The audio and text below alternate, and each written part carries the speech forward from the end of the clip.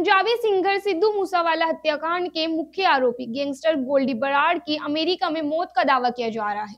सूत्रों के मुताबिक अमेरिका के फेयरमोंट और हॉल्ट एवेन्यू में मंगलवार यानी 30 अप्रैल को शाम पाँच बजकर पच्चीस मिनट पर गोल्डी बराड़ को गोलियाँ मारकर हत्या कर दी गई। जानकारी के मुताबिक गोल्डी बराड़ अपने एक साथी के साथ घर के बाहर गली में खड़ा था।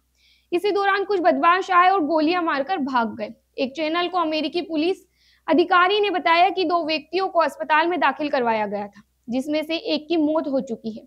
बराड़ के विरोधी गैंगस्टर डल्ला और लखबीर ने गोल्डी की हत्या की ज़िम्मेदारी ली है। दोनों ने दावा किया है कि गोल्डी पर उन्होंने दुश्मनी के चलते गोलियाँ चलवाई हैं। फ़िलहाल लॉरेंस या अन्य किसी भी गैंगस्टर की इस पर कोई भी प्रतिक्रिया नहीं आई है। गोल्डी बराड़ पंजाब के श्री मुक्तसर साहिब का रहने वाला है। उसका जन्म साल 1994 में हुआ था।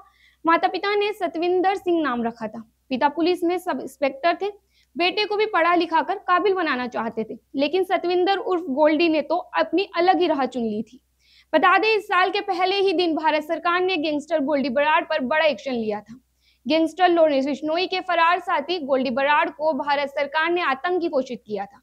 भारत सरकार ने यूएपीए में गोल्डी बराड़ को आतंकी घोषित किया था। पंजाबी सिंगर सिद्धू मूसावाला हत्याकांड में गोल्डी बराड़ मास्टरमाइंड था। पहले लॉरेंस गैंग ने इसकी ज़िम्मेदारी ली, फिर बाद में गोल्डी बराड़ ने इसकी ज़िम्मेदारी ली और कहा कि मूसावाला को उसने मरवा है। उसने मूसावाला पर लॉरेंस के कॉलेज फ्रेंड विक्की के कत्ल में शामिल होने का आरोप लगाया। गोल्डी ने दावा किया था कि पुलिस ने मूसावाला के खिलाफ कोई भी कार्रवाई नहीं की तो मजबूर होकर उन्हें मर्डर करना पड़ा।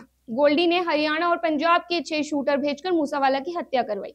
ऐसी ही तमाम और खबरों के लिए देखते रहे द नगरी न्यूज़, में शेख जोया।